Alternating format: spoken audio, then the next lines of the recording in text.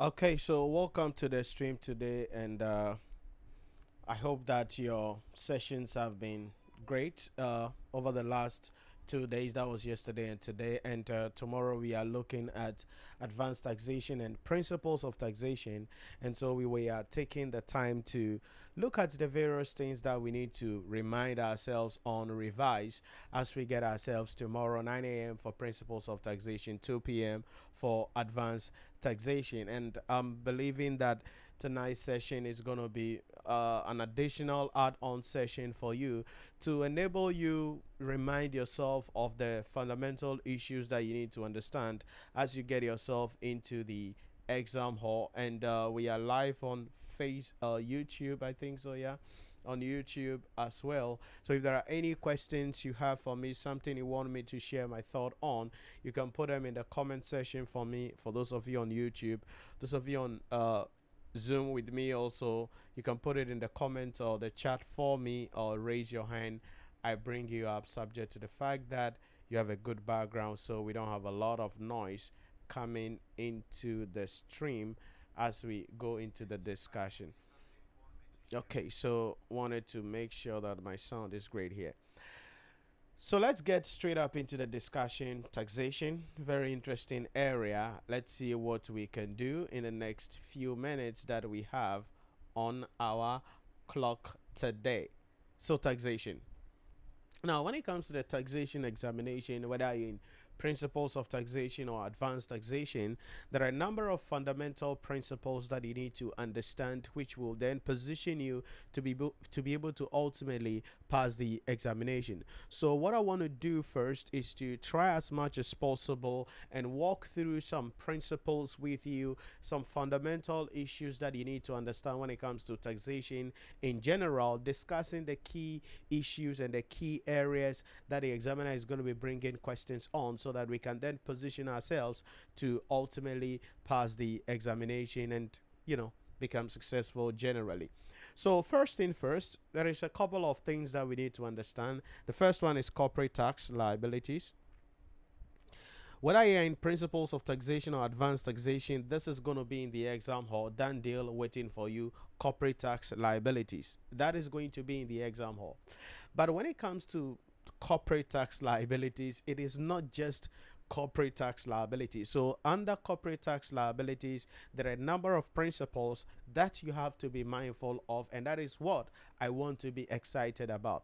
Just so you know, when it comes to dealing with corporate tax liabilities, all we are doing is we are changing the accounting profit into the taxable profit because remember, financial statements of a company will be prepared in accordance with the issue in respect of the IFRSs. And for the most part, the IFRSs will give certain treatments that may not be allowable or acceptable when it comes to dealing with the issue about the tax laws. And so things like depreciation, it's allowable for tax purposes. Impairment, it's allowable for tax purposes. Uh, dealing with amortization is allowable, sorry, for the IFRS purposes. But when it comes to tax, all those things will not be recognized for tax purposes. And so for, for the from the perspective of tax, what is going to be happening is that we are going to ask ourselves, is this expense uh, expenses wholly exclusively and necessarily these are the three main things that we will be looking out for. So for an expenses to be allowable for tax purposes it should be wholly incurred for the entity it should be exclusive to the entity and it should be necessary. In other words without that expenses the activities of the organization cannot continue. That is the fundamental issue that we need to understand but let's get excited into some key principles that we have to be aware of when it comes to dealing with corporate tax liabilities. The first thing has to do with capital allowance whether I like it or not, there is a 99% opportunity that either you're going to have a dedicated question on capital allowance or you are going to use the principles of capital allowance to solve a whole 20 marks question or a 15 mark question in the exam. So, capital allowance is a fundamental issue when it comes to dealing with taxation, whether principles of taxation or advanced taxation. So, let's start with the basic principles that you need to understand when it comes to dealing with capital allowance, its treatment it's different from traditional companies. When I say traditional companies, I mean companies that are operating outside the petroleum and mining industry. So these companies will have different rules for accounting for their capital allowance, whilst the companies in the mining and petroleum operations will also have different rules for their mining uh, for the capital allowance treatment. So let's first get into the traditional companies. How do we deal with capital allowance for traditional companies? in respect of the traditional companies, we are going to be using what we call the pooling system okay the pooling system the pooling system simply states that the assets of the entity will be classified into five major groups and accounted for in that manner. The key thing we must understand here is how the pooling system works on the overall. And so from class 1 to class 3 assets, they are going to be accounted for, uh, capital allowance will be granted on a reducing balance basis okay? On a reducing balance basis. Whilst assets in pool 4 and pool 5 will be accounted for on straight line basis okay? Now i will not go into the individual types of assets in each class though but you know data input uh devices, computer and those things are going to be in class one and all of those things. Things of permanent structure will be in class four and all those things. So class one to class three, uh, we are going to be calculating the capital allowance on the reducing balance basis.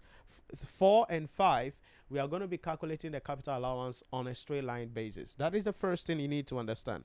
The second thing is that assets in pool 1 to pool 3 lose their identity.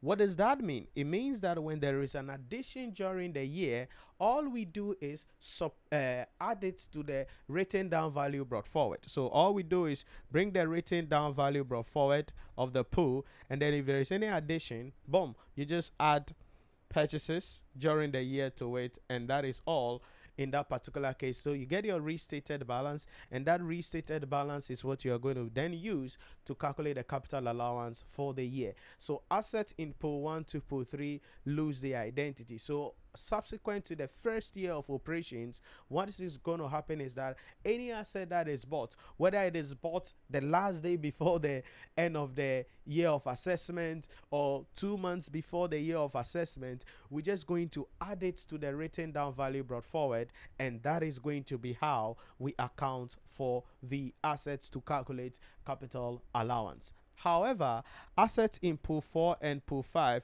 do not lose their identity okay? They do not lose their identity. What does that mean? It means that when there is an addition of pool 4 and pool 5 we put them or we put those addition in a new subgroup in the main group. So for instance if the entity had a building and then subsequently they bought another building or they constructed another building that means that we will have pool 4a pool 4b and we'll count account for that separately. Why? Because assets in pool 4 and pool 5 do not lose their identity but assets in pool 1 to pool 3 lose their identity. So any addition during the year we just add it to the pool and we calculate our capital allowance in that regard. So that is how we deal with additions in class 1 to class 3 class 4 to class 5 Please note that if it is the first year of assessment that we are calculating the capital allowance for the entity, then it is important that we take into consideration the number of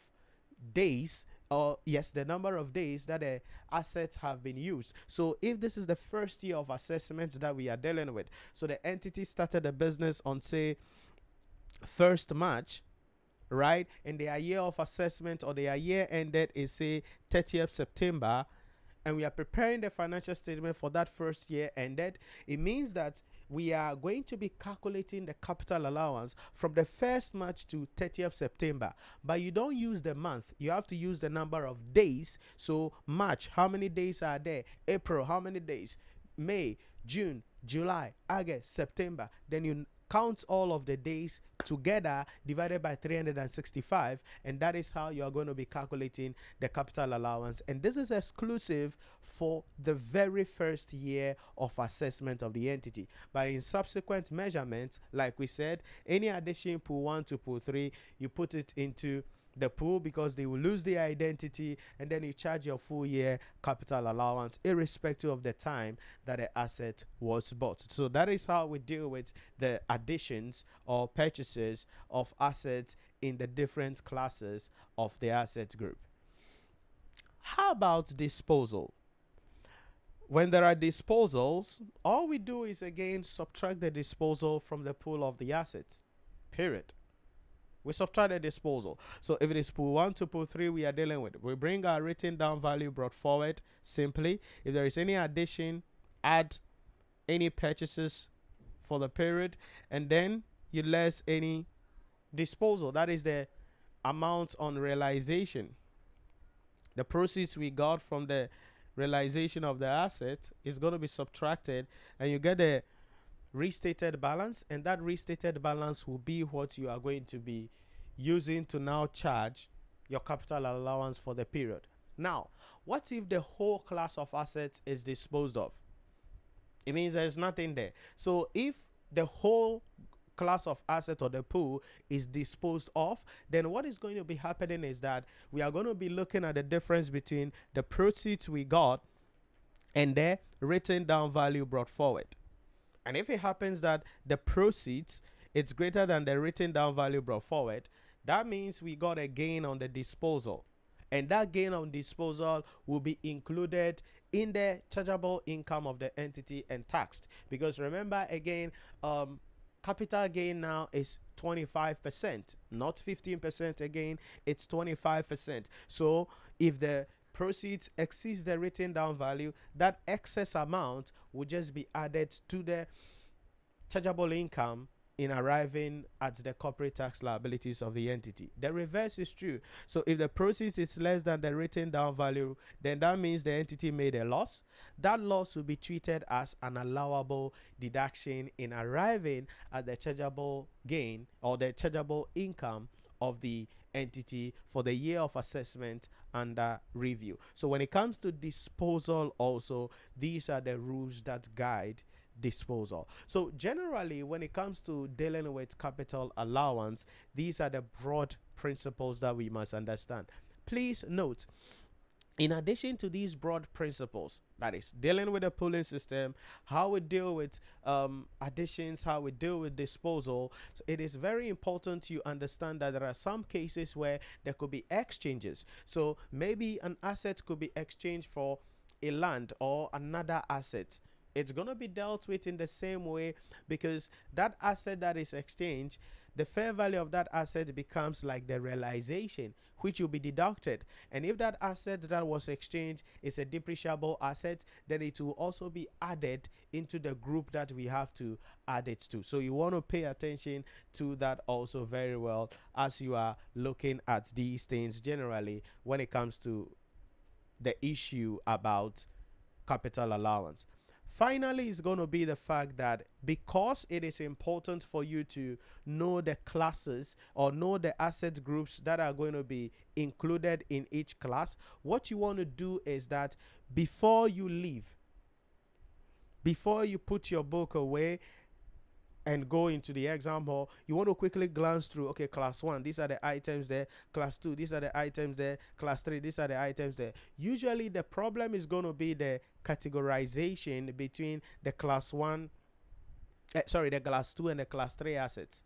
That's where sometimes the challenges are going to be. Now, remember, if you screw up the classification, maybe there's a class two asset and you put it in class three, you just screwed up big time in that regard. So you want to be mindful of the classifications and the assets groups that will be recognized in specific areas in that regard. So that is the issue that you must understand when we talk about capital allowance. It's a fundamental principle that you have to understand when it comes to dealing with principles of taxation or if you want advanced taxation.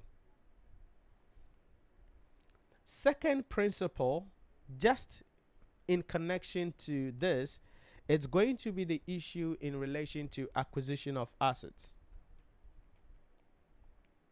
Now, before I go to the acquisition of assets, let me talk about advanced taxation when we are in um, petroleum and mining operations. Because when we are in petroleum and mining operation, the capital allowance issue, we don't deal with pooling system.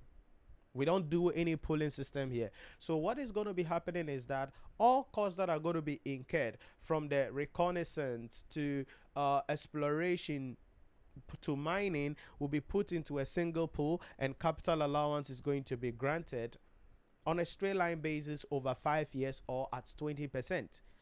If it is a mining environment, exploration, development, then when production begins, everything is going to put into a single pool and capital allowance is going to be granted over five years or at 20% straight line. So advanced taxation, when we are dealing with capital allowance, petroleum and mining operations, that is the rule that we are going to be dealing with. That always capital allowance is going to be on straight line basis over a five year period. So if for instance we have a scenario where we are giving the written down value brought forward, we are given the written down value brought forward for say let's say 4000 and then we are told that oh this asset had been used for two years. Okay. So if the asset had been used for two and we are in a mining environment for two years that means they've charged depreciation or capital allowance for two years. Since it's a mining company that means this 4000 here represents three more years to go. So if i want the capital allowance for the current year of assessment and a review, I'll just take that 4,000 divided by 3 and that gives me the capital allowance for the current year of assessment. I subtract that, then I get my written down value brought down. So when it comes to capital allowance in petroleum and mining environments, this is how we deal with it and that is what you need to understand there. So that's principle number one, capital allowance and its rules. We come to principle number two, and that is acquisition of assets. When an entity is seeking to acquire assets, there are a couple of options available to the entity, and it is important we understand the tax implication of the various acquisition methods that an entity is going to be electing or using for the most part. So, either the entity will undertake an outright purchases, or the entity is going to go and lease the assets. What is the rule governing these two? Very simple. If the entity goes and undertake an outright purchases, then simply if the asset is a depreciable asset then certainly that asset is going to be put into its pool and then capital allowance will be granted but remember if the asset is a non-commercial asset then the cost of the asset will be capped back to 75,000 Ghana cedi for tax purposes. Sometimes the examiner could be generous and remind you of that. But if the examiner is not generous and it happens that it's a non-commercial asset like a Pajero, a Range Rover, like those luxury SUVs or vehicles, then no matter the cost that the entity incurred to purchase those vehicles or that vehicle, it's going to be capped back to 75,000 for capital allowance purposes. Note, the fact that we cap it back to 75,000 does not mean when that asset sells subsequently, the proceeds that come from the asset, we will cap it or prorate it in accordance with the 75,000. No if we sell that asset subsequently, how much we sold it for or we are going to sell it for, that will be the proceeds we are going to be bringing in deducting from the pool when we are calculating the capital allowance for the current year under review. So that is something that is very important that although when you buy the asset and it's a non-commercial asset and you are going to be capping it to 75,000 if subsequently that asset is sold we don't cap the proceeds. The whole process is going to be brought and deducted from the whole pool and then we would deal with it and find out okay maybe there is a gain there is a loss or what we will do subsequently so outright purchases the asset is bought we add it to the pool that it belongs we grant capital allowance based on the rules of the pool class 1 40% class 2 30% class 3 20% class 4 10% class 5 economic useful life of the asset and all of those things. Note that goodwill is not a depreciable asset and hence depreciation cannot be granted on goodwill. Land is also not a depreciable asset so depreciation or capital allowance will not be granted on land. So that is why in the pooling system land acquisition, you don't see it coming anywhere because land is not considered a depreciable asset. Goodwill also is not a depreciable asset. So for these two items, capital allowance shall not be granted. So you want to make sure you understand that very well. But alternatively, the entity could choose to lease the asset. Now, when the entity leases the asset, you know that the entity is going to make lease payments every year. So the annual lease payment. If you are good students from the leases environment, you know that lease payments have two components. We have the capital elements, okay, and then we have the finance element. So there are two elements here. Now, this is the rule for explanation purposes. The capital element will be granted as a capital allowance. Okay, the capital element will be granted as a capital allowance for the most part, and then the finance element will be treated as deductible expenses, or if you want, allowable expenses. So, in principle, all the lease payment will be deductible all right in principle all the lease payment will be deductible in principle. Just that you don't say it's that oh like the lease payment will be deductible for tax purposes. No you got to split the two that the capital element will be granted as a capital allowance and then the finance element will be granted as a deductible expenses. Now there is a catch here for the advanced audit and assurance students that if a petroleum or a mining company leases an asset, please take this very well. This is for the advanced taxation students. If a petroleum or a mining company leases an asset, yes, the capital element will be granted as a capital allowance, but when it comes to leases in the petroleum and mining company, we are going to still apply that 20% straight line or over five year period. So that the capital element that is being paid, we are going to do 20 over 100 times that capital element, and that will be the capital allowance the company can get in respect of the capital element. But the finance element in mining and petroleum, still all of it will be treated as a deductible or allowable expenses. So that is just a little catch there for the level 3 students dealing with the issue about leases. So these are the two options available for leasing an asset. So for tax planning purposes, let's say that an entity wants to buy a vehicle, maybe a Range Rover or maybe a Pajero or you know the, some of these non-commercial vehicles. Okay, for tax purposes, which one will be appropriate for them? They could decide to do outright purchase, but remember when you do outright purchases of these vehicles, probably 20, 250,000 Ghana cedi. For tax purposes, the tax authority will say, "Uh-uh, you don't need an a Range Rover to run any business." So, for tax purposes, that 250,000 will be cancelled we would rather give you 75,000 Ghana cedi for tax purposes. So it's going to be treated as 75,000 Ghana cedi, although you pay 250,000 Ghana cedi for it. And that is outright purchases, and capital allowance will be granted in accordance with whatever pool system that is going to belong. Usually, that is going to be class 3. But if we decide to lease that same vehicle, then the lease payment we make every year the capital element will be granted as a capital allowance, the finance element will be deductible. There is no cap there. So, for tax purposes, it will be better for the company to lease such vehicles rather than to outrightly buy them because when they buy, there will be a cap.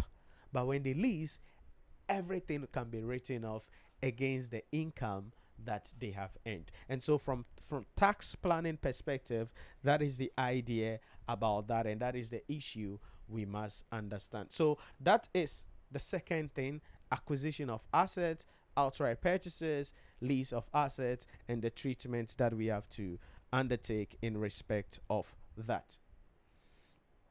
The third thing is going to be the issue in respect of the entity seeking to make finances or finance its operations for the most part. So let's look at the tax implication of a couple of things. Now, for advanced taxation students, you're going to have a lot of tax implication of these, and I've told you this over and over again in uh, our individual classes. There will be a lot of tax implication issues. So, we want to just remind ourselves on some of the issues available. So, number one, let's say that an investor, always remember the perspective that you are writing. So, an investor is seeking to make an investment. So, what is the tax implication? Okay, the investor can buy shares, equity shares, or the investor can give it out as a loan to the entity. What is the tax implication on that? All right. When the tax when the investor buys shares in a company, the shares will qualify the investor to receive future income in the form of dividend. That future income coming in the form of dividend will be subject to a withholding tax of what? 8%. So as and when the entity declares dividend, then that 8% tax will be withheld from the amount of uh, dividend payable or receivable by the investor. But if the investor chooses to give loans instead of equity shares, buying shares, the loan will also bring in future income in the form of interest. So the annual interest payable will also be subject to a withholding tax of 8%. So again, this is from the perspective of the investor. You have to always be mindful of the context of the question. Whose perspective am I writing from?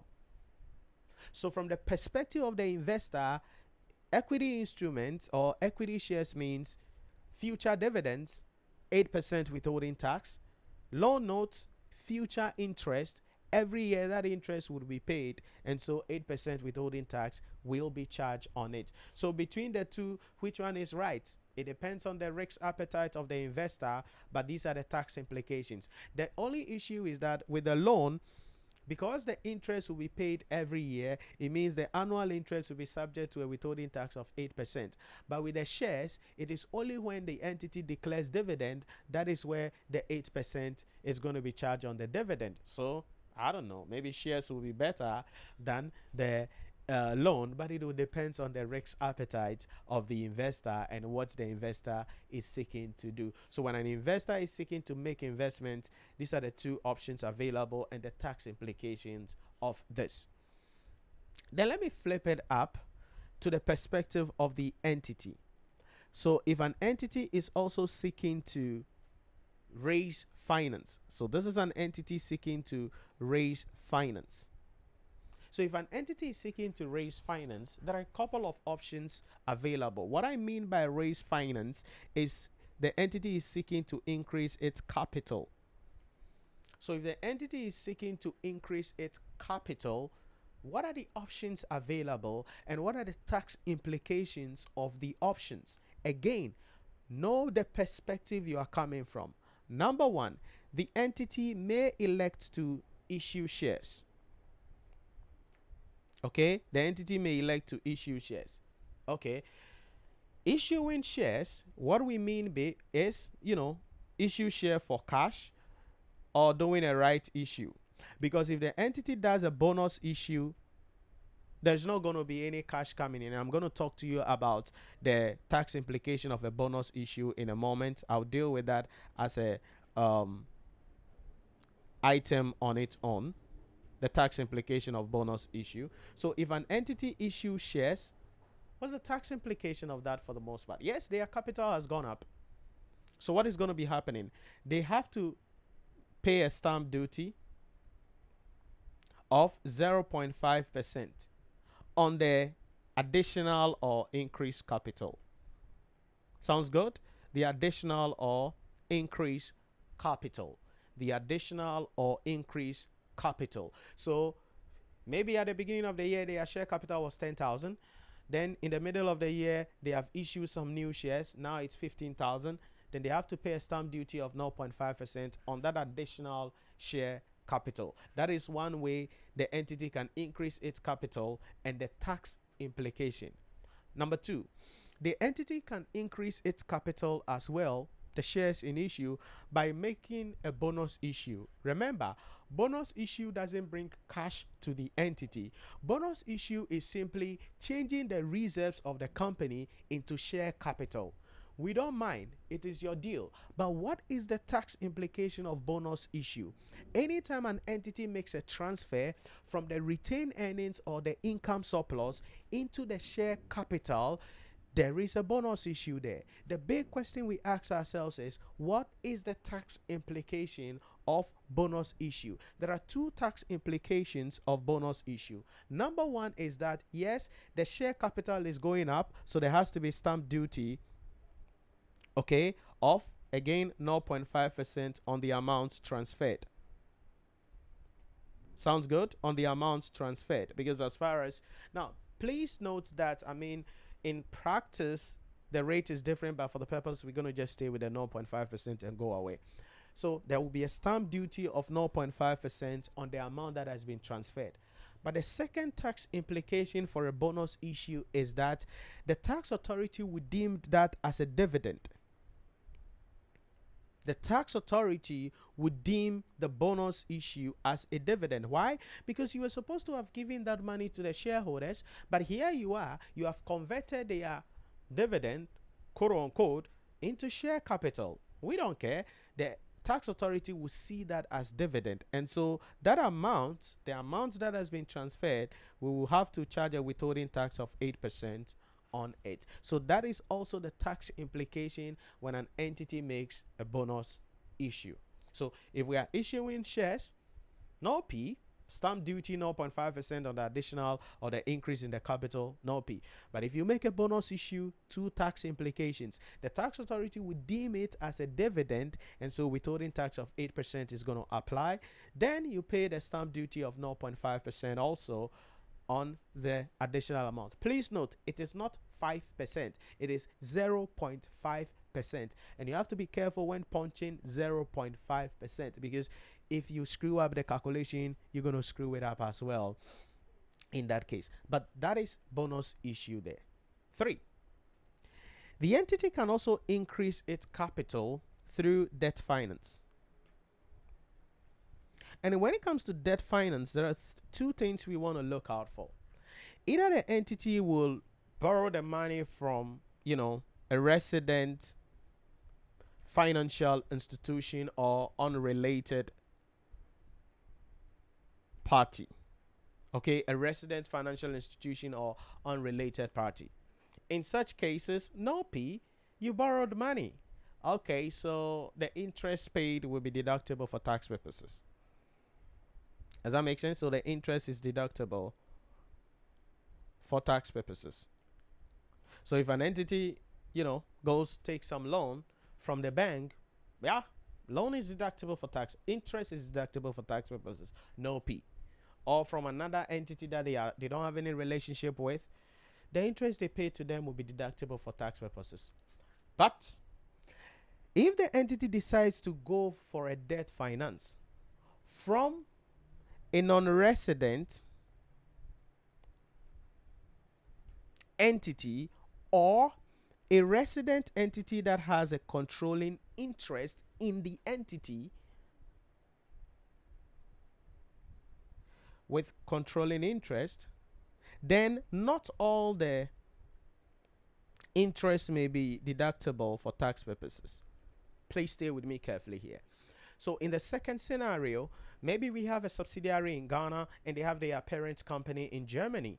And so, you know, as Ghana is going through crisis and the parent company in Germany says that, hey, listen, we, we want to fund you. And so they send them, you know, 1 million pounds or 1 million euros or 1 million dollars. Okay, that's a good money, but it is coming from their parent company not all the interest expenses on that loan will be may be allowable for tax purposes. I'm using the word may be allowable for tax purposes because I'm going to explain that to you in a moment. Or they borrowed the money from a company here in Ghana, a resident entity, but the company they borrowed from actually controls them. So maybe they have a parent company, but the company is in Ghana and they are borrowing the money from them. In such scenario also, not all the interest expenses may be allowable for tax purposes. And this is where our thin capitalization concepts come to town. So the thin capitalization concept applies. So in the second scenario, where the entity is borrowing money from a non-resident person, a non-resident entity, what will be the tax implication? All the entity is borrowing money from a resident entity that controls them, a resident parent entity, then thin capitalization rule will apply. Stay with me carefully. You're going to love this. Now, what, a, what is the thin capitalization rule anyways? Pretty simple. The thin capitalization rule simply says that the tax, sorry, the debt allowable for tax purposes shall not exceed three times the equity of the entity. That's it. The tax, sorry, the debt allowable for tax purposes shall not exceed three times the equity of the entity. Uh oh. What is equity here? You got to be careful. Equity here is the share capital plus retained earnings or what we call income surplus. Sounds good? Retained earnings or income surplus. These two guys will give us the equity. So be careful. If in the question we have share premium, share capital, retained earning, revaluation surplus, other components of equity, it's all a trap.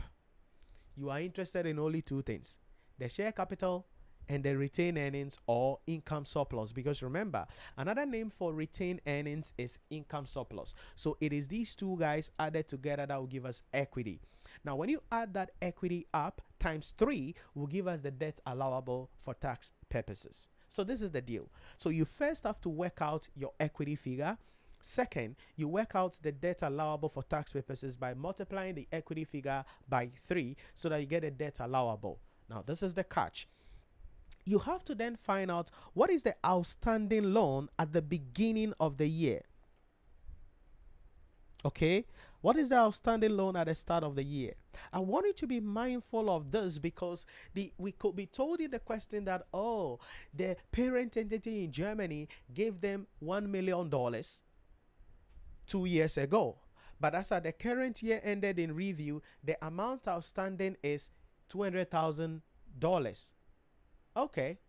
So which figure do you use? Is it the debt originally 1 million or the 200,000 that is currently outstanding? It is always the debt outstanding at the beginning of the current year of assessment. That is the figure you're going to work with.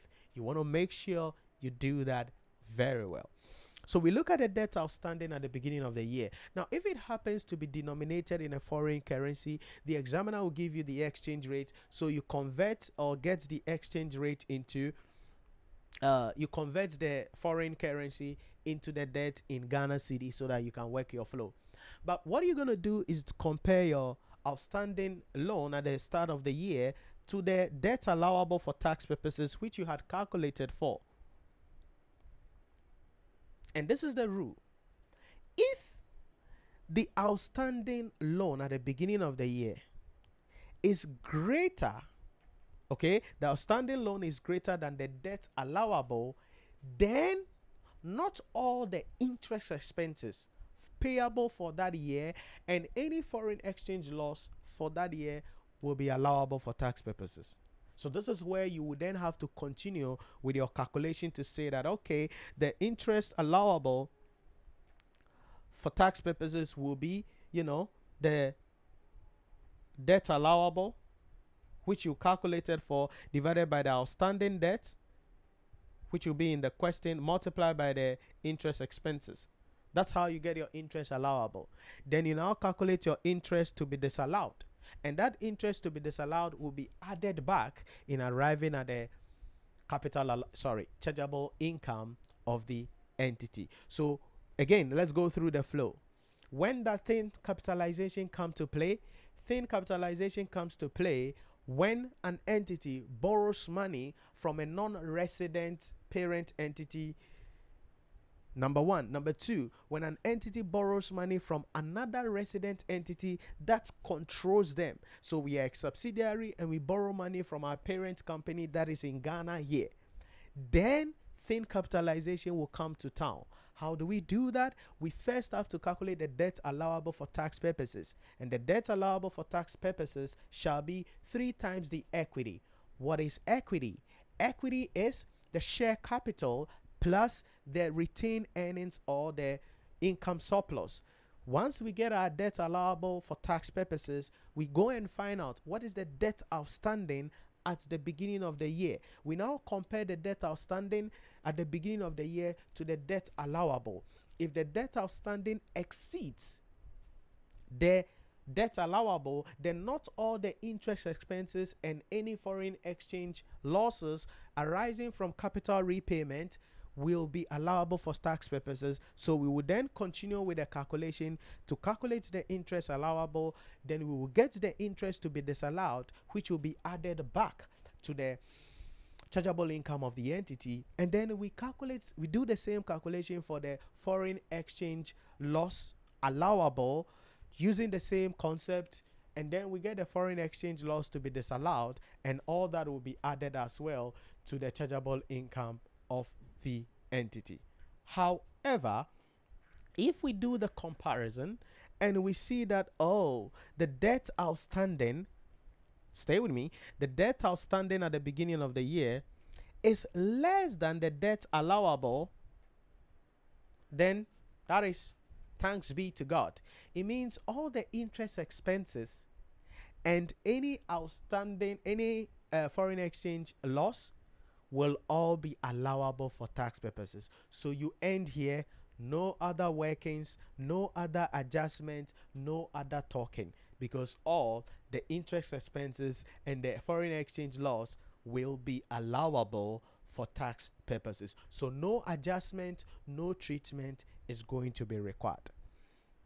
But you have to understand this that whether we are going to allow or disallow do adjustment or not do adjustment, when we are taking the loan from a non-resident company, there has to be the interest on the withholding tax. There has to be a withholding tax on the interest, which the entity must withhold, okay, at 8% and pay that to the Ghana Revenue Authority. So whether all the interest will be the allowable or part of the interest will be allowable, we don't care. The total interest payable for the year, we have to charge an 8% withholding tax and remit that to the Ghana Revenue Authority. Then the final part is here is this, and this is also another important thing that you know you have to note. Where an entity has a negative equity then they don't qualify to borrow. So in that case, all the interest expenses and any corresponding foreign exchange losses will be disallowed for tax purposes. So let's say you are calculating your equity and you have your share capital coming in probably hundred thousand dollars, and then you have your retained sorry hundred thousand Ghana cedi. Let's put some respect on Ghana cedi, you know and we have our retained earnings coming in and that is negative 150,000 uh-oh. That means the equity it's negative 50,000 you don't qualify to borrow. In the scenario all the loan all the interest expenses and any foreign exchange losses will be disallowed for tax purposes and we have to go and add them back to the chargeable income of the entity. And these are the things you must understand when we talk about thin capitalization. And it is arising why? Because the entity want to raise capital and they are raising the capital from debt finance and the loan is being given to the entity by a non-resident parent entity or a resident entity that is their parent or that controls them generally. That is the third scenario on how an entity can increase its share capital and the tax implication of that. Remember, when the thin capitalization rule applies, the interest that is disallowed for tax purposes is lost forever. So the entity cannot recover from that. The entity cannot get any benefits from that. It's lost and it's gone forever and ever. But that is the idea about a tax implication when an entity is seeking to raise finance generally. Next one, it's going to be the issue about again a foreign investor seeking to invest in Ghana. What are the options available? So let's say an entity is seeking to have presence in Ghana. So an entity is seeking to have presence in Ghana. What are the tax implications? Remember, there are two things you need to understand. We have what we call trading in Ghana, okay, and then trading with Ghana. They are not the same. Trading in Ghana and trading with Ghana are not the same. Trading in Ghana means that the entity has a presence here in Ghana, is carrying out activity in Ghana, and so the income that they earn in Ghana will be subject to tax in Ghana. That is trading in Ghana. Trading with Ghana means the entity has no presence in Ghana. Hence, there will be no tax implication on them. So if a Turkish company is trading with a Ghanaian company, you can't go tax the Turkish company. Why? Because they don't have a presence in Ghana. That is called trading with Ghana. You cannot tax their income because they didn't do anything here unless otherwise they executed a job here in Ghana. So let's say it's a repairs and maintenance. Maybe you bought a plant and they are coming to do repairs for you. Then, because they did the repairs here in Ghana, when you are paying them, the entity will charge withholding tax. Other than that, trading with Ghana, there is no tax implication. Okay. So when this foreign entity is seeking to have presence in Ghana, meaning trading in Ghana, there are two options that they can elect to go for, and it's something that we need to understand. They can come in as a permanent establishment, meaning they register the company as an external entity, okay, as a branch here in Ghana, or they can have an independent subsidiary here in Ghana. These are the two options. It is important we understand the tax implications of the two. Number one is going to be stamp duty. When they register the company as a branch, as an external company, because there is no stated capital, there will not be any stamp duty. But if they register the company as a subsidiary, independent subsidiary in Ghana, there will be a stated capital. So on that stated capital, they would have to pay a stamp duty of 0.5%. Number two, if they register the company as an external company, then what is going to be happening is that at the end of the year, whatever profits that they are going to take back to the parent company because it's a branch, any profit expatriated, there has to be a withholding tax of 8% charge on it. So there will be branch profit after tax of 8% branch profit after tax of 8%. But if they register the company as an independent subsidiary here in Ghana, there's not going to be any branch profit after tax. So they're not going to face any branch profit after tax.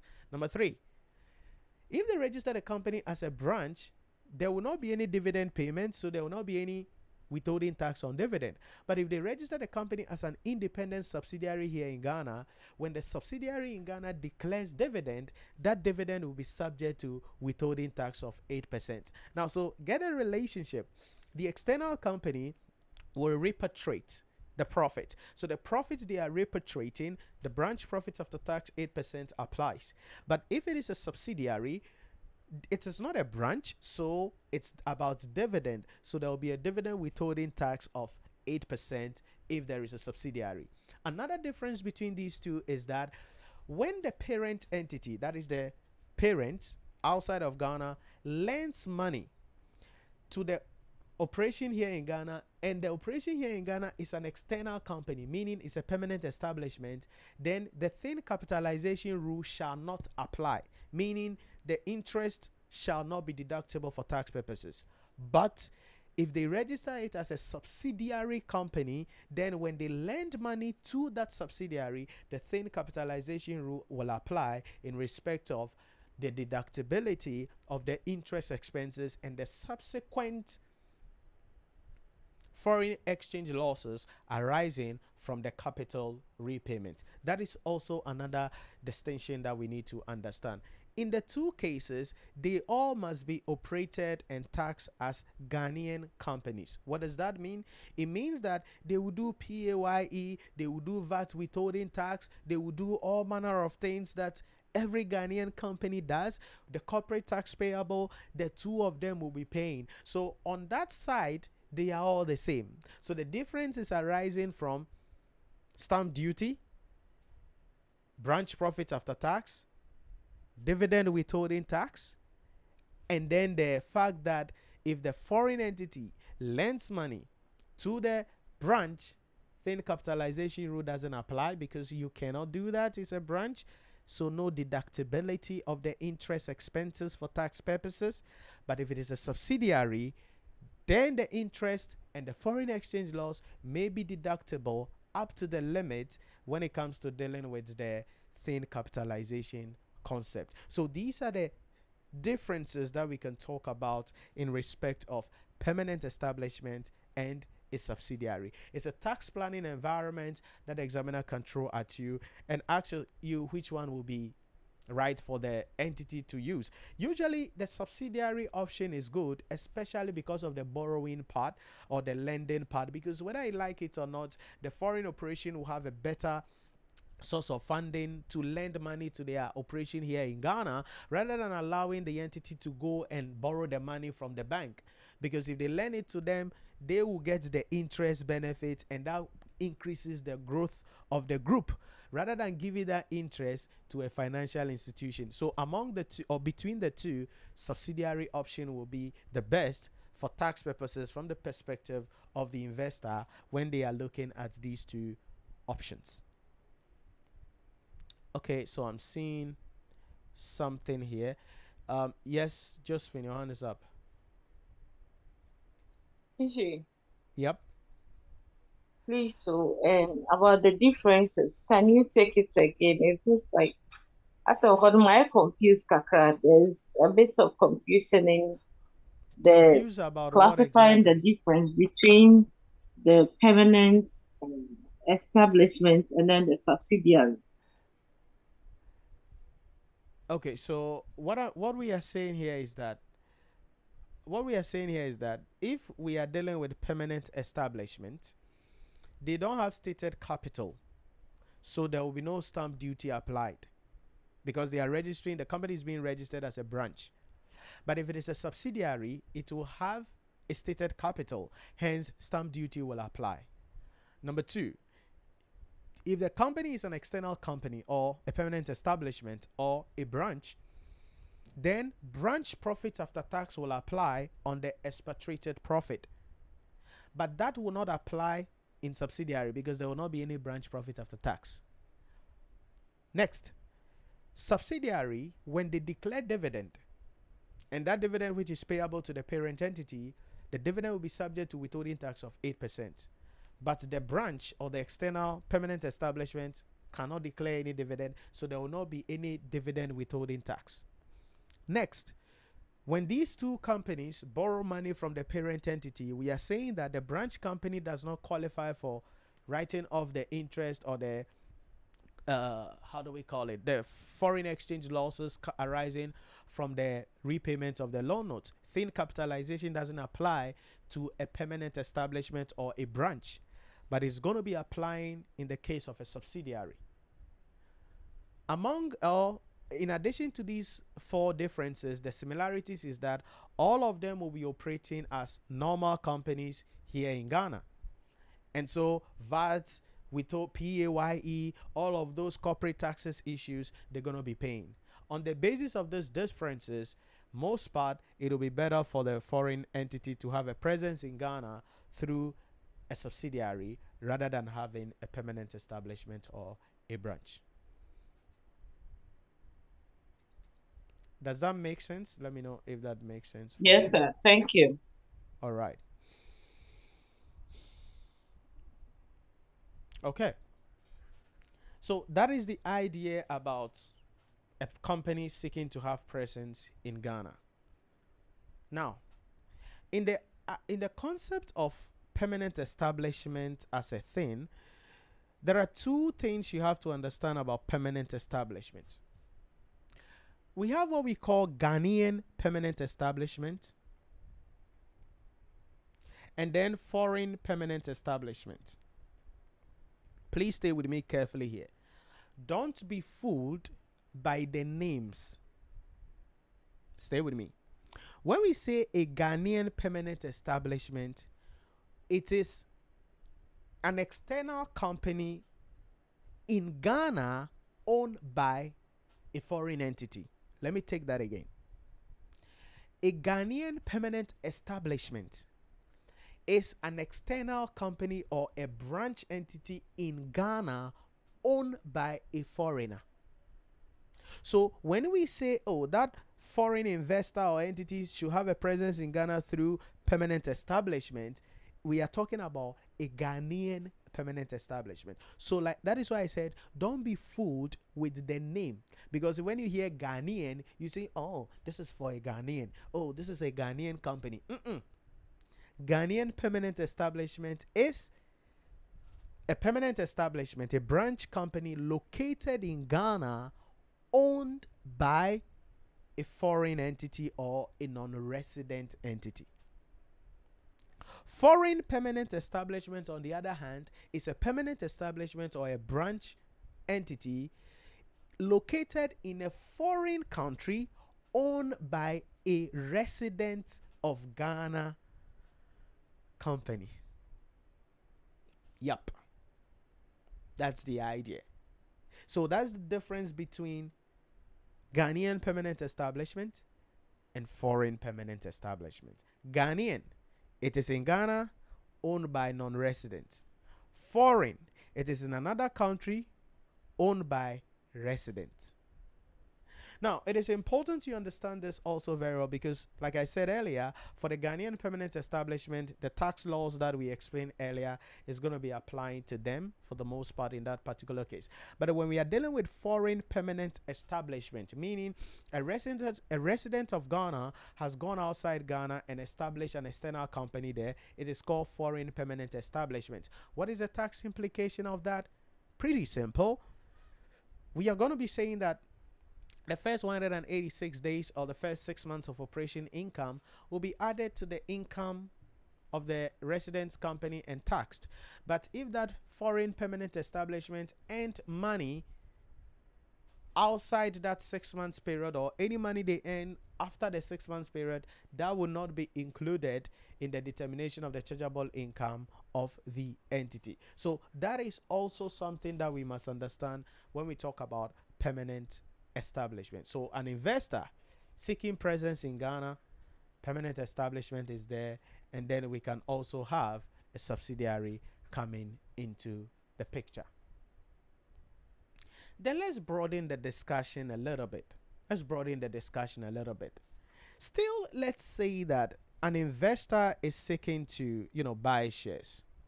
Okay, investor or is seeking to buy shares. Let's say a resident entity it's seeking to make investments. Okay, so they are seeking to buy shares in companies.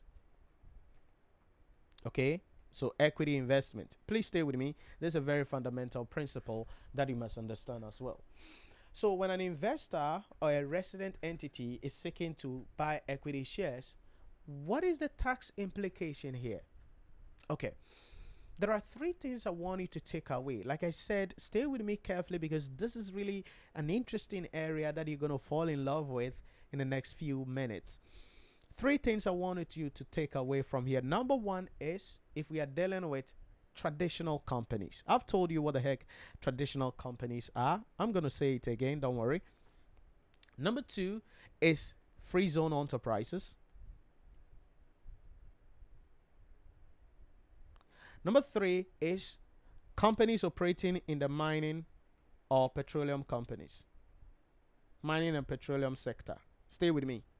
The tax implication is not the same. Stay with me. I am talking about from the perspective of the investor.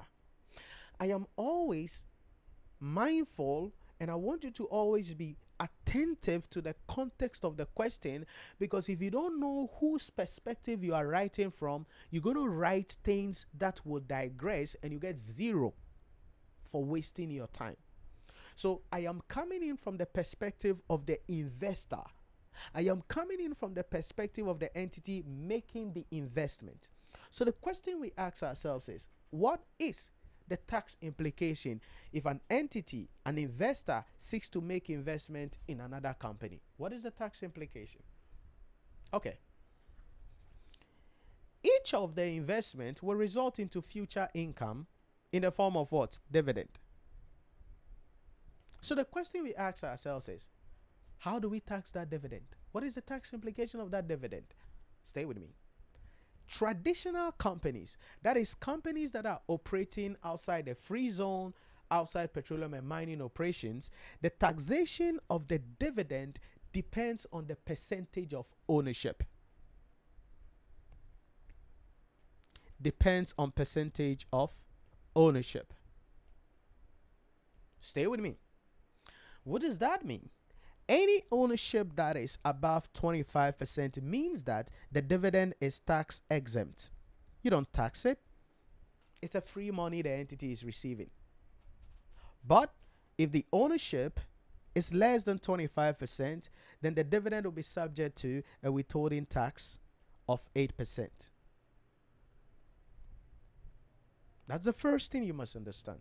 So we have acquired shares or we are seeking to acquire share in a company that is not a free zone company, in a company that is not a petroleum or a mining company.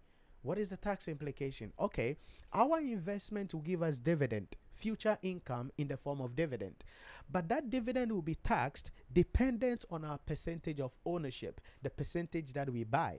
So if we buy more than 25%, the dividend is going to be tax exempt. So it's free money we are getting. But if we buy below 25%, uh it doesn't become free money. ADOD is going to take 8% to fly around the world.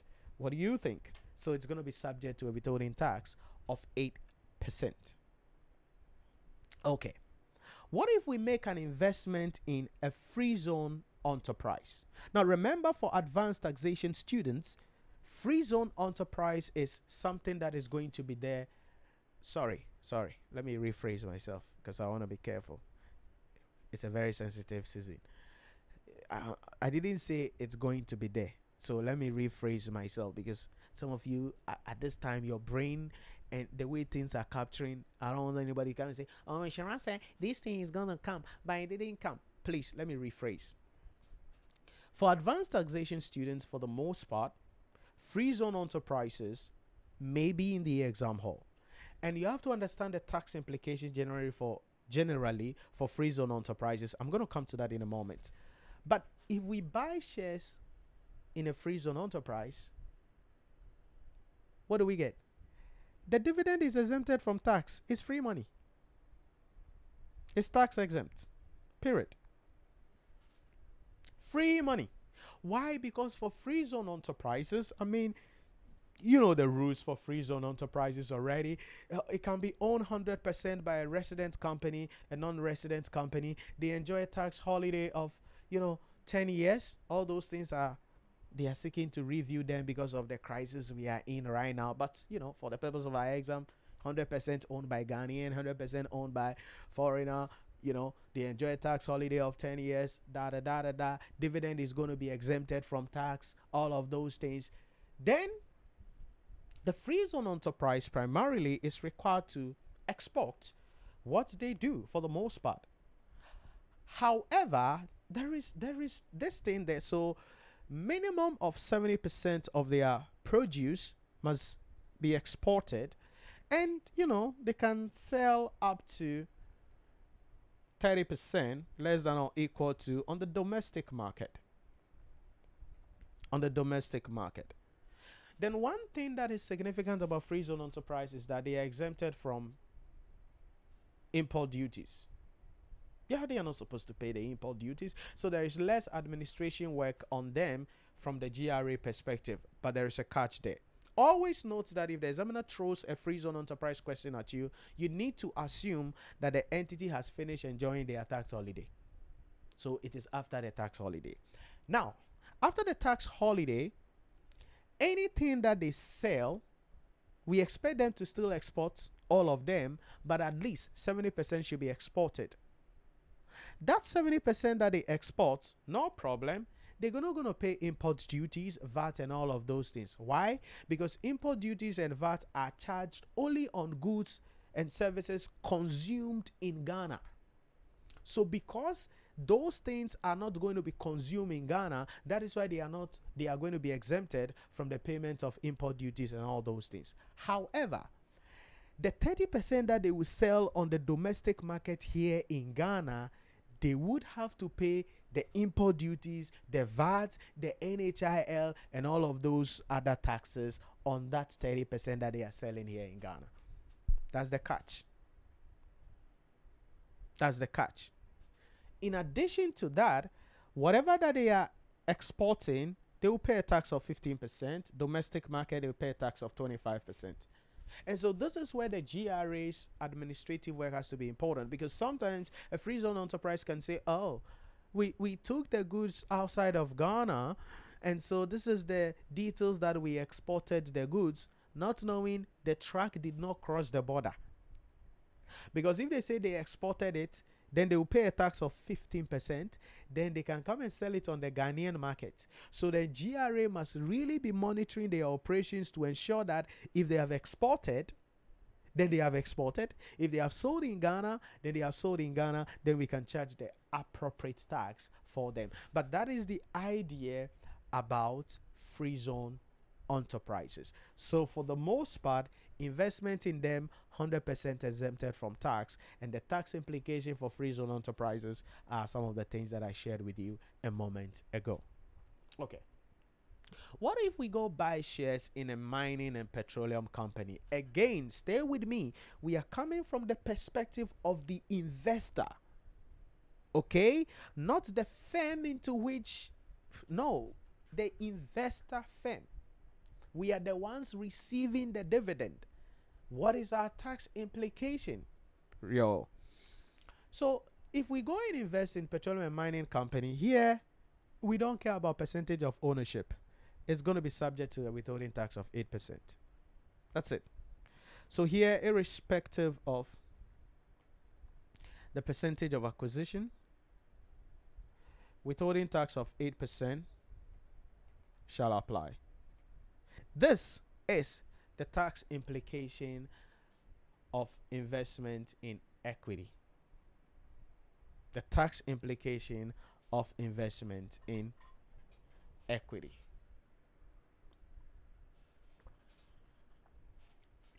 And that's what we must understand.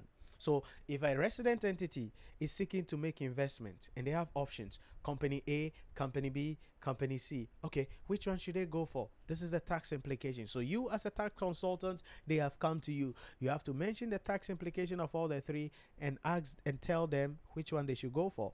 For the most part, either you acquire more than 25% in a traditional firm so that the money will be exempted from tax or go buy a free zone enterprise so that the money will be exempted from tax. If not, if you go for mining company, you're screwed because no, no matter the percentage you acquire, 8% is going to come after you. And then if you acquire less than 25%, 8% is also going to come for you. So that is the tax implication of this particular aspect dividend that the eh, the entity the entity has made investment in shares the tax implication of the investment. Okay. The next thing I want to share my thoughts on is going to be the issue about taxation of other income. Okay, tax implication of other income. Now, apart from the traditional income of the company, which is the revenue, there are other income that the entity is going to be receiving, and it is important we understand the tax implication of these incomes. Now, before I get excited into the tax implication of this income, you need to understand withholding taxes, which I know you know already because we have what we call the final withholding taxes and then withholding tax on account. You must understand the difference between the two. If we say something is a final withholding tax, it means the recipient of the income shall no longer add that income to their assessable or chargeable income. But when we say something is withholding tax on account, then the recipient of the income will add the gross income to their chargeable income or their assessable income for the year. Let's take that again. If withholding tax is a final withholding tax, or we say an income is a final withholding tax, the recipient of the income shall not add the income to their assessable or chargeable income for the year of assessment. But if the income is deemed as withholding tax on account, the recipient of the income shall add the gross income to their chargeable income or assessable income. And in that case, we will determine their tax payable, then the amount of tax that has been withheld by the one making the payments to them will be given as a tax credit in arriving at the tax liability of the entity. So that is just a quick reminder on final withholding tax and withholding tax on accounts. Now, once we settle that, the first type of income we need to talk about is interest. Note that interest paid by financial institutions, resident financial institutions to individuals is tax exempted. Interest paid by resident financial institution to individuals is tax exempted. And usually interest paid by non financial institutions to individual usually will come at a rate of 1% depending on wherever we are in but usually will be at a rate of 1% but if an entity receives interest what is the tax implication of that? The interest will be dealt with as withholding tax on account. What does that mean? It means that we need to get the gross income and add it to the chargeable income of the company, calculate the tax, and then the amount of tax that has been withheld by the financial institution whilst paying us the interest will be given as a deduction in arriving at the tax payable by the entity. So that is the idea about interest income. It's on account, we need a gross, add it to the chargeable income, calculate the tax of the entity, and then whatever tax that has been withheld will be given as a tax relief so that we get a tax payable by the entity. That is how we deal with interest income. It is on account. Number two is rent income.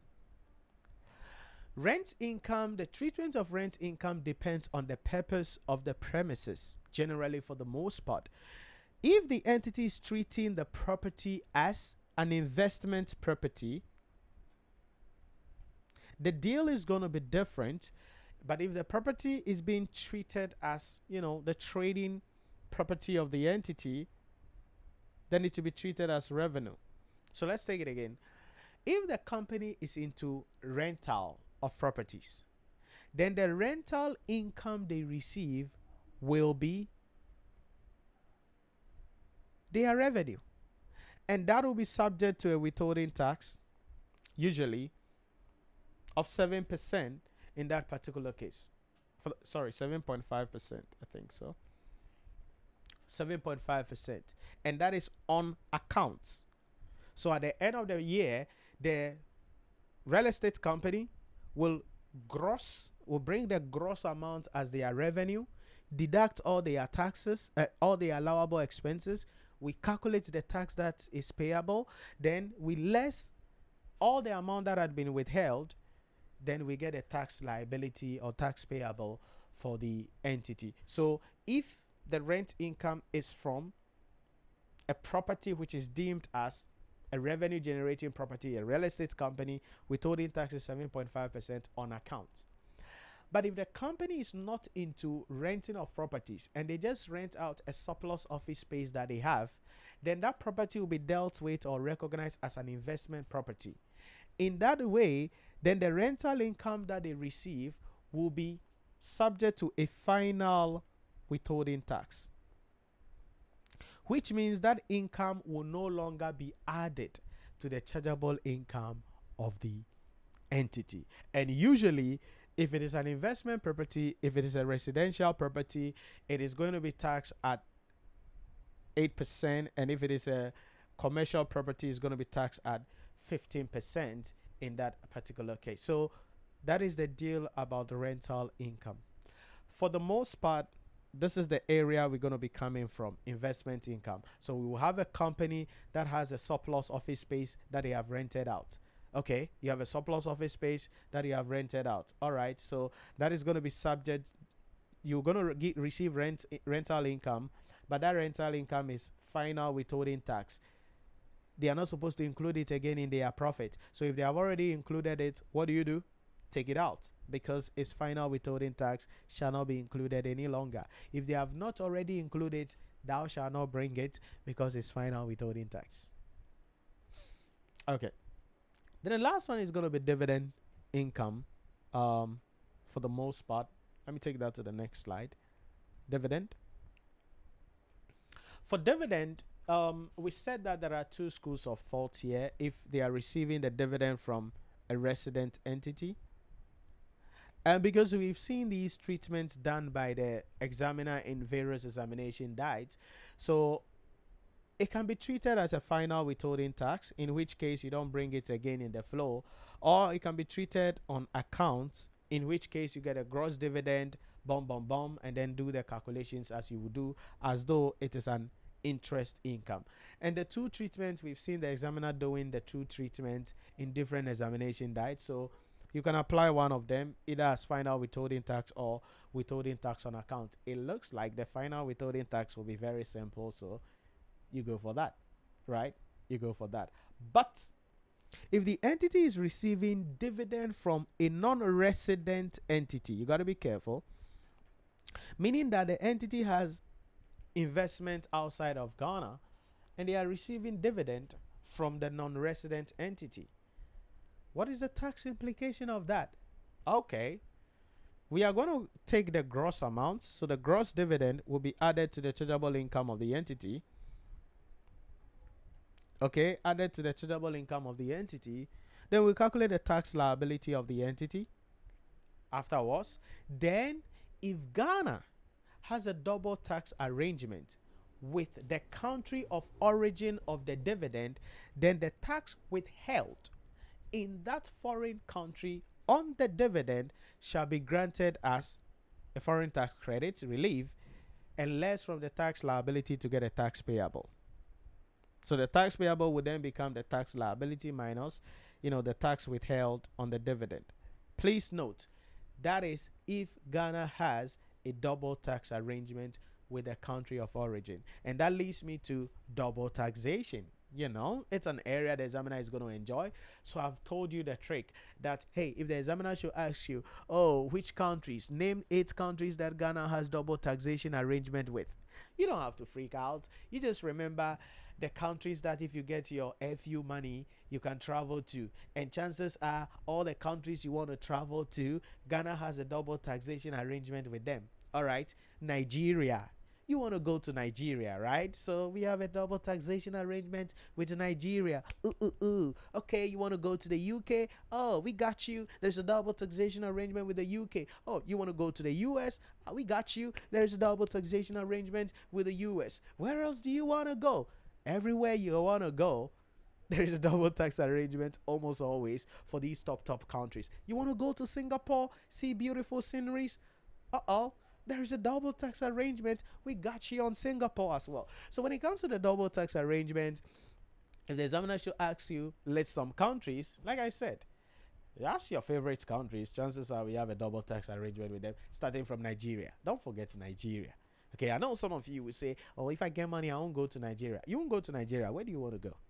You go to Nigeria. You know, that's nice. Just remember, we have a double taxation arrangement with Nigeria. Or maybe you want to go to Barbados, yeah, or you want to go to the UAE. We got you. Okay, we got you also there. So wherever you want to go, chances are there's a double tax arrangement in there. Then we spoke about the issue in respect of importance of tax treaties, limitations of tax treaties. You want to make sure you read all of those things. But the key thing has to do with granting of the double tax relief. Okay, the double tax relief calculation. We said there are two things you need to understand here. We have what we call the relinquish method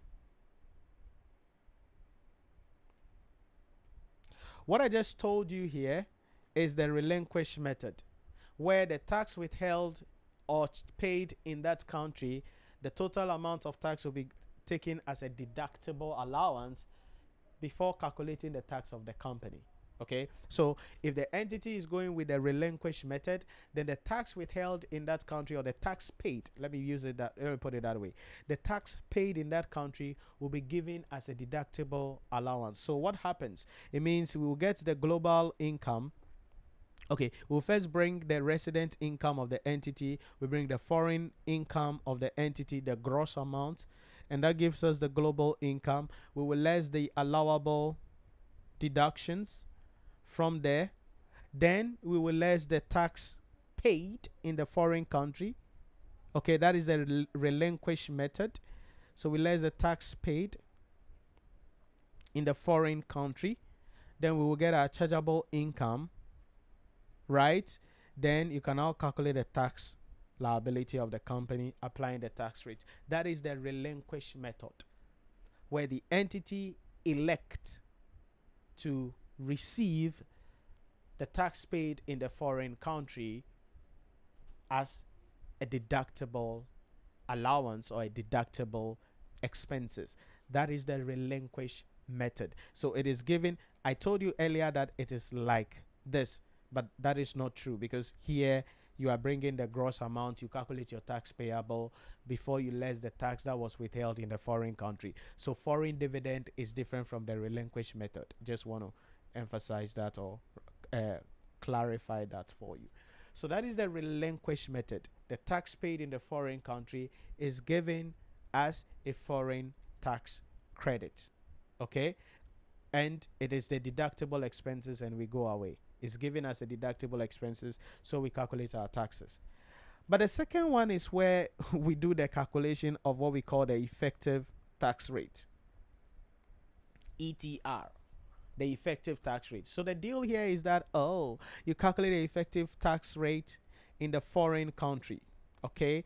And what is the effective tax rate? Effective tax rate is simply the tax charged divided by the chargeable income times 100. So you get your effective tax rate in the foreign country. Okay? Then you calculate your effective tax rate in Ghana.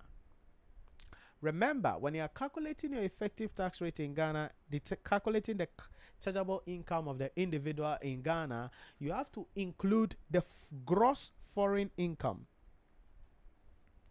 not the net. You include the gross foreign income, then you you do the individual graduated tax rate to determine the tax charge, then you calculate the effective tax rate in Ghana. Remember this statement that you will include the gross foreign income in calculating the chargeable income here in Ghana. That is the catch. Now, when you finish, you have the effective rate in the foreign country, you have the effective rate in Ghana. To determine how much foreign tax credit the individual can get, we compare the two. So, scenario number one if the effective tax rate in the foreign country is greater that the effective tax rate in Ghana, we didn't ask the foreign country to charge you more tax. So in that case, the foreign tax credit that you will get will be the Ghana's effective tax rate. Okay, the Ghana's effective tax rate times the gross foreign income times the gross foreign income. That is how we calculate the foreign tax credit. If the foreign tax rate is greater than the effect uh, the um, effective tax rate in Ghana. We didn't ask them to charge you more tax. But if it happens that the effective tax rate in the foreign country is less than the effective tax rate in Ghana, uh oh, then in that case, all the tax paid in the foreign country will be given as a foreign tax credit. So here the tax credit will be equal to the foreign tax paid. Sounds good? So that is double taxation as well, and what you need to understand there. So companies will usually go with the relinquish method. Remember, it will be stated directly in the question if the entity is electing to go with the relinquish method. And remember its treatment. It will be subtracted in arriving at the chargeable income because the foreign tax is treated as a deductible allowance or deductible expenses. But if we are dealing with individual situation, then we have to look at the effective tax rate. Calculate the effective tax rate in the foreign country, effective tax rate in Ghana, then you know you compare the two. If the foreign rate is bigger than the Ghana's rate, use the Ghana's rate on the foreign, the gross foreign income. That will give you the tax credit, the foreign tax credit. But if the foreign rate is less than Ghana's rate, then it will be fair for us to give you all the tax that you have paid in the foreign country as a deduction. Note also that there are procedures that must be followed when it comes to claiming foreign tax credit. Number one, Ghana must have a double tax arrangement with the country in which the income originated. That's important. Then you got to furnish the the Ghana Revenue Authority with the requisite tax documents indicating how much income you gen- you got, how much tax was paid. Then they were they are going to communicate with them because they are their buddies. So they're going to communicate with them to ask them, "Hey, is this person in your books? How much money did this person make? Da da da da da and all that." Then they will follow the rules, do the calculation, and the person will get a tax credits. Remember, another key condition also is that the one claiming the foreign tax credit or the individual must be a resident. So the entity or the individual must be a resident of Ghana. It's only a resident company that can claim double tax relief or a resident individual that can claim foreign tax relief. Now, time will not permit me to go into determination of the residency status, but I believe you know it. Make sure you understand that because the examiner can throw that at you specifically, or that could also understanding who, who what we mean by a resident company and a non-resident company. You remember that throughout my discussion this evening, we've been looking at the discussions from the perspective of non-resident and resident, non-resident and resident. So please make sure you read through that. What do we mean by a resident company? What do we mean by a resident individual? What are the characteristics? Make sure you go through that because that is very important there. So that is a concept about double taxation and what you need to understand also there. Then the next principle that I would want to share my thought on will be the issue about financial cost and financial gain. You know, financial cost and financial gain.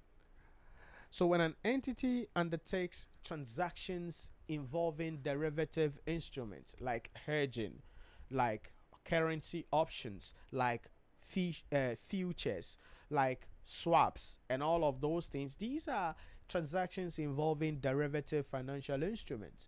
And in such transactions, the entity is going to be incurring financial cost, or the entity will make financial gain or will earn gains. The question we ask ourselves is what is the tax implication of this? You know this already. It depends on the type of company that we are using. So, if we are dealing with traditional companies, again, you know what a traditional company is by now. When we are dealing with a traditional company, then the finance cost allowable for tax purposes shall be the financial gain plus 50% of the adjusted chargeable income right? For traditional companies. Now, you have to calculate that adjusted chargeable income. Calculation of the ch adjusted chargeable income is the normal chargeable income calculation, excluding the effect of both the financial cost and financial gain. So, we will assume that the financial cost and financial gain is never there. So the financial cost was deducted. So we will add it back. The financial gain was added. So we're going to subtract it. Then all allowable expenses will be dealt with. Disallowable expenses will be added back in arriving at the adjusted chargeable income. Then we take 5% of that, add it to the financial gain, and that will give us the financial cost. Remember, any amount of financial cost that is disallowed for tax. Uh oh. Give me a sec.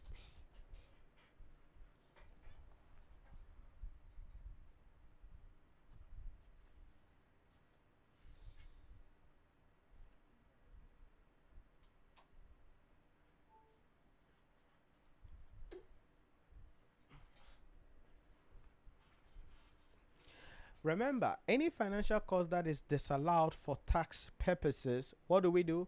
It can be carried over for a period of five years. Any financial cost that is disallowed for tax purposes can be carried over for a period of five years. So that is traditional companies. But companies operating in the mining and petroleum operation, we said we apply the matching principle. Applying the matching principle means nothing about financial cost and financial gain should be in the chargeable income calculation unless otherwise there is excess gain over a cost. So let me explain that. We are using the matching principle. What does that mean? It means the financial cost allowable for tax purposes shall not exceed financial gain. So the financial cost we can allow for tax purposes should be equal to the financial gain for the year. So the matching principle. Now, any excess financial cost can be carried over for a period of five years. Any excess financial cost shall be carried over for a period of five years. Now, in a year where the entity incurs a financial cost without any financial gain, mining and petroleum operation, then the financial cost will all be disallowed for the year and carry over for five years. But if they incur or they earn a financial gain without any financial cost, then the gain will be added to their chargeable income and taxed at their tax rate of 35%, definitely at the end of the day. And so we use the matching principle here. Matching principle, which means that technically unless there is excess financial gain, nothing about financial cost and financial gain should be in your chargeable income schedule because you are using the matching principle. The cost will cancel the gain, so nothing about it will come in your schedule. So if the entity has already included the cost, you are taking it out. If they have uh, included the gain, you're also reversing the effect of that. Then you come and apply the matching principle. So that is the idea about the treatment or the tax implication of financial cost and financial gain. Remember, these are financial costs are costs arising as a result of the entity engaging in transactions involving derivative instruments. Like I said, currency options because it's a written question the examiner can ask you.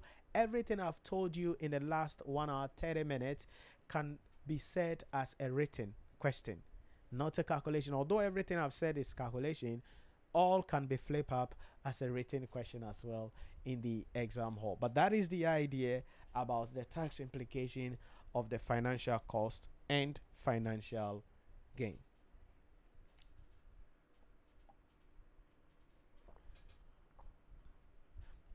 Then my last flow is gonna be probably the issue, the tax implication of mergers you know, acquisitions, transfers, and all of those guys. You know them already. We said that there is a change, if there is a change in the ownership, in the underlying ownership of the assets and liabilities of a company within a period of three years, then the assets and liabilities of the company is said to have been realized. That's all. So if within three years there is a change in ownership of the underlying assets of a company, then we say that the assets and the liabilities of the company have realized. What does that mean? It means the company has been sold. It means the company has been disposed of. And that is the same rule that applies on mergers, on acquisitions, and on transfers. What is the implication? It means that if within a year there's a change in ownership of more than 50% in the underlying assets and liabilities of a company, then what happens is that there is a disposal. So this is what we said. So let's say we have a company, Kukua Limited, and then they are to be acquired by another company, Adoma Limited. So Kukua Limited is the target firm. Adoma Limited is the predator firm or the acquiring firm. So let's say that Adoma Limited decides to acquire 70% of Kukua Limited. Okay, the assets and liabilities of Kukua Limited is said to have realized. In that case, any gain on the disposal will be subject to tax. Number two, the new owners, Adoma Limited, cannot benefit from any unrelieved losses carry forward, financial cost carry forward, capital allowance carry forward, and all other uh, carry forward tax benefit that Kukua had before they took ownership of them. Why? Because the assets and liabilities of the company have realized. So they cannot benefit from that. And so, for tax planning purposes, we said that in that case, the acquisition should be arranged in such a manner that it will be spread over a year. So you can still acquire the 70%, but spread it over three years. I said over a year, but over three years. So that in year one, acquire 20% because they have a lot of tax deductions or tax benefits that we can benefit from. So year one, you can acquire 20%, no P. In the second year, you acquire 15%. In the third year, you acquire another 10%. Uh, eh, in the fourth year, you know, you acquire. In the fifth year, you acquire. Now you've spread the acquisition over a period more than three years, and hence the rules of capping and not benefiting will not apply in that particular case. That is the idea about tax implication of acquisition. But if they acquire less than 70%, then certainly the new ownership, because the Kukua company had not been realized, has not been disposed of, then certainly the entity can still be accounting for or benefit from all the tax carry forward in that regard. The same thing applies to merger arrangements. Okay, we said if two firms merge, so again, Kukua Limited, Adoma Limited, they merge to form a new firm, Kuku Ado Limited. Okay, Kuku Ado Limited. So that's the new firm. And we said that okay, in that new firm, Kukua is owing 35%, Adoma is owing 65%. What did we say? We said that because Kukua Limited is owning only 35% of the new firm, we say we will say that the assets and liabilities of Kukua Limited have realized. They have sold their business. In that case, any gain on that merger arrangement, the shareholders of Kukua Limited will be subject to the payment of tax on that gain. Then the merged firm, Kuku Ado Limited, cannot benefit from any tax incentive that Kukua Limited was having prior to the merger. Why? Because that company is no longer there. But if we go to Adoma Limited, they own 65% of the merged firm. That means Adoma Limited has not been realized. In that case, any gain on the merger will be tax exempted, and any tax carry forward by Adoma Limited prior to the merger arrangement will still be benefited by the merged firm or the new firm Kuku Ado Limited. That is the idea about mergers acquisition. So really the rule is simple that if there is change in the ownership of the assets and liabilities of the company within a 3 year period of more than 50%, then we will say that the assets and liabilities of the entity have realized. If the assets and liabilities of the entity have realized, then any gain on the change in ownership will be subject to tax. Then any tax incentive carry forward, financial cost carry forward, losses carry forward, you know, on relief or uh, bad debts carry forward and all that cannot be benefited by the new owners. These are the things you must understand when it comes to mergers and acquisition as well. Okay, that's the idea about that. Then, I mean, what else? The final thing that I could share my thought on will be carryover of losses. Okay, carryover of losses. If you remember, we said yes, all companies now can carry over losses for five years. Okay, all companies can carry over losses from five years. Pre- previously, there was a priority sector, but now all companies can carry over losses for a period of five years. No problem, no cap, no limitations. They can carry over losses for five years. But you need to understand what kind of losses are we talking about. So there are two types of losses we can talk about. We have what we call business loss and then investment loss. If you remember the rules we discussed, we said that losses from business can be written off, carry forward, and written off against business income in the future, as well as even investment income in the future.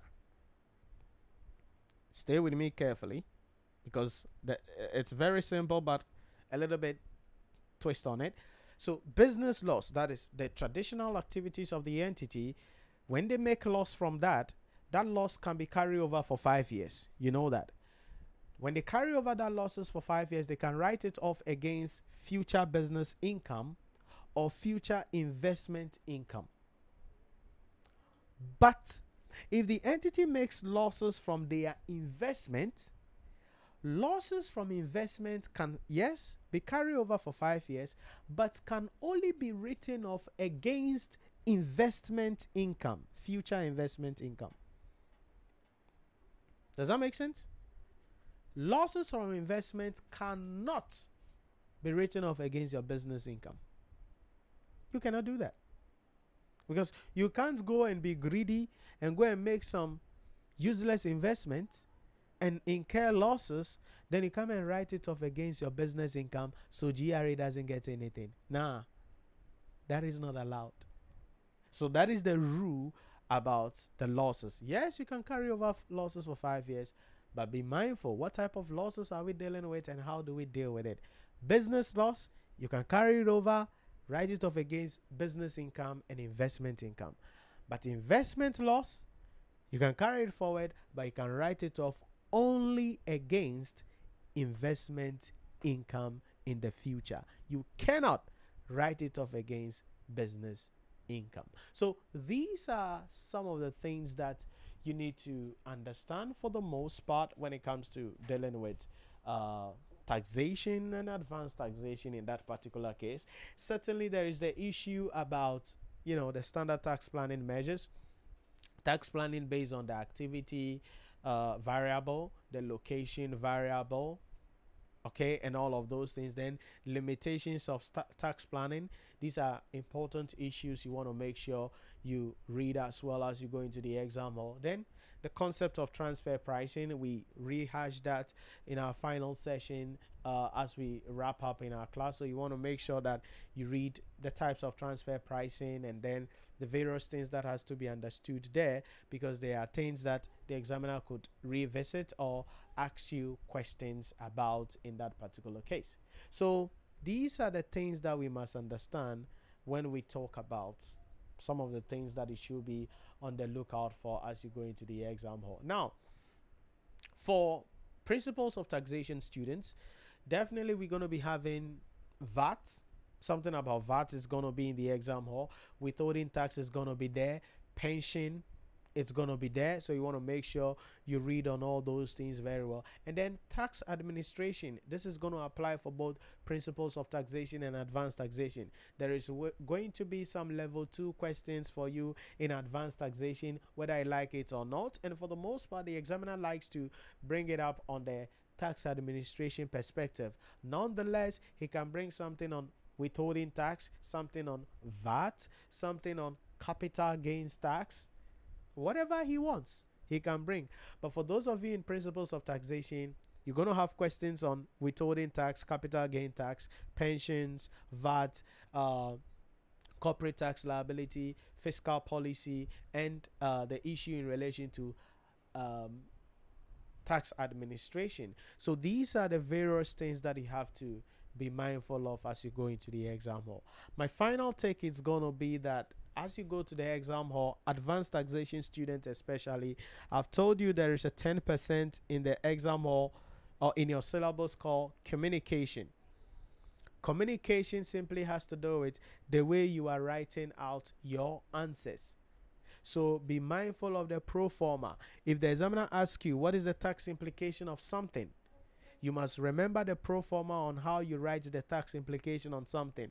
If you are just supposed to write the thing, then you have your heading coming up, you have your brief intro coming up, you talk about the tax issue. As per the Income Tax Act 2015, Act 8 96 as amended da da da da da da da da da da da da da da da da da you explain then you contextualize to come and then talk about the tax implication of the scenario given to you so based on the above the tax implication of this is going to be this then you come to your conclusion paragraph i hope that this helps you in making your decision you have your closer thank you and then boom boom boom you're gone in that particular case so pro forma on the way you write out your English because there's going to be a lot of write ups.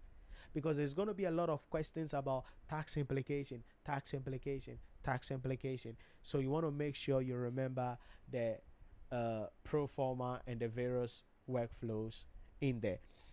Then the last thing that I didn't also talk about is taxation of natural resources. It's an area the examiner can get excited and get goosebumps on a lot. So make sure you read the types of revenue government gets under, and this is advanced taxation for under the petroleum and mining sector. So we have the income tax, we have the carried interest, additional carried interest, participating interest, um, what the heck, additional oil entitlement, surface rentals. Learn all of those things.